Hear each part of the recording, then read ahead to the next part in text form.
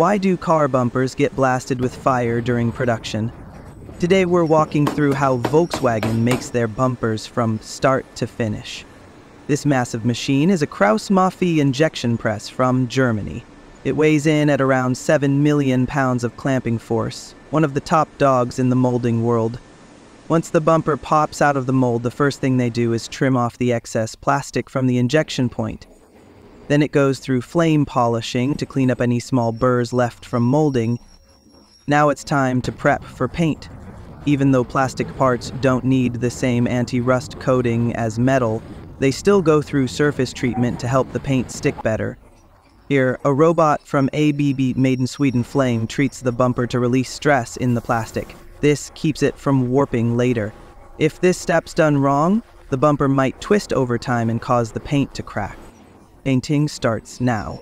Even though it's a parts factory, they use the same paint brand as Volkswagen's main plant to keep the colors spot on. First, they spray a clear coat. Volkswagen uses BASF clear, same stuff Rolls Royce uses. It's glossier and tougher than most, so in a light scrape, the other car usually loses paint first. Here's the bumper, fresh out of the oven, semi finished and looking clean. Before adding trim, workers inspect the paint for issues like drips, dust, or orange peel texture. Now they install the lower trim panels they snap in with clips, so if one breaks, you can replace just that part without buying a whole new bumper. The gray piece underneath? That's the front lip, also clipped on. The black centerpiece levels the bumper so the license plate sits flush. Next up, high gloss piano black trim on each side. It's clipped in too, just needs a rubber mallet to tap it in.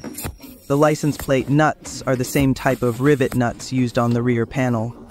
Inside, there's a daytime running light, custom made for the Jetta, sharp and easy to recognize. Then the front radar sensor pops in by hand.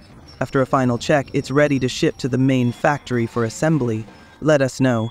Has your bumper ever had paint cracks or color issues?